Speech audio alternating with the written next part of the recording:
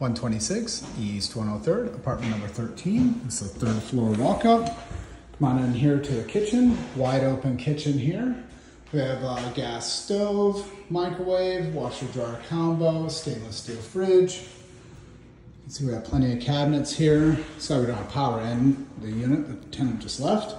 Um, we have cute little vanity, does have a medicine cabinet, toilet, really cool shower with a really nice shower head there. All right, into the living room here. Living room will fit a full-size couch, TV, chair, maybe even a small desk. Does have Verizon Fios available. Go to the first bedroom here. This bedroom will definitely fit a queen-size bed pretty easily. Does face, um, it faces north. This is looking out into the city. Nice tree-lined block closet goes all the way up to the top.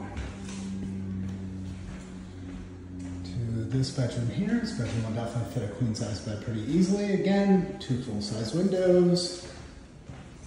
Out there. And closet goes all the way up to the top. And into this bedroom here. Bedroom will definitely fit a queen size bed pretty easily. It does face the inner part of the building here. It does have a closet. Closet goes all the way up to the top. And there we go.